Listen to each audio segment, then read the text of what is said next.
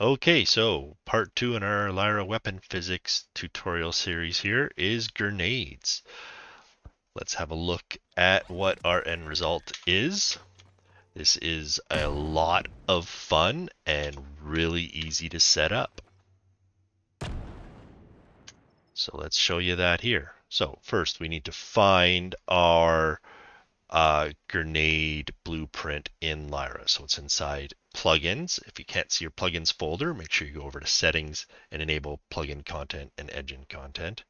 So inside plugins, inside shooter core content, and then weapon and grenade. And then we can open up B grenade. Inside B grenade, this is what it's going to look like when you first load it up. So you want to go uh, right into this point here, which comes under detonate, and then look for the switch has authority because we want this to spawn on the server. So we're going to take this has authority and we're going to spawn actor from class. Now we need to go create that class. So content drawer, we'll right click blueprint class we want this to be a field actor this time. So we'll create a field system actor. We will call this F for field underscore grenade. So with our F grenade, we'll just open that guy up. Under field system component, we are going to add a radial force. Okay, so we're going to give our radial force a much bigger radius. And now the trick to this one is object types to effect. We need to make sure that we add world static, world dynamic. Uh, force strength, uh, we need a pretty big strength, 500,000.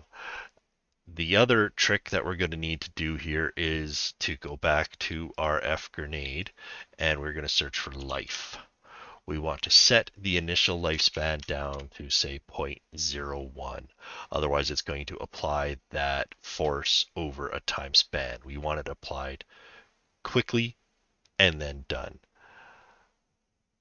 Okay, so our radial force is set to 50,000. Radius is set to 600. You can uh, tinker with those numbers for how you feel uh, is needed for your game. So we go back to our B grenade, our spawn actor. We're going to set to F grenade that we just created. And now we need a spawn transform. So we're going to have to split that struct pin. Spawn transform location is this yellow line right here. It comes from get actor location of the grenade itself. So we can branch off of this guy if we double click on this, we can create a new little node on it and we can create a branch right off of that into our transform location. That is all we're gonna have to do. So compile, save, and then we're gonna run back into here. And it just works you find you'll have a lot of fun just throwing grenades around. Uh, now, nothing in Lyra comes with physics enabled on a standard map, so you're going to just simply have to create an object, uh, add physics to it. So just set it simulate physics, adjust its mass if you wish. Uh, collision presets block all uh, doesn't have to be set for the grenade physics, but if you want it to work with the gun physics as well, you do need to have that set.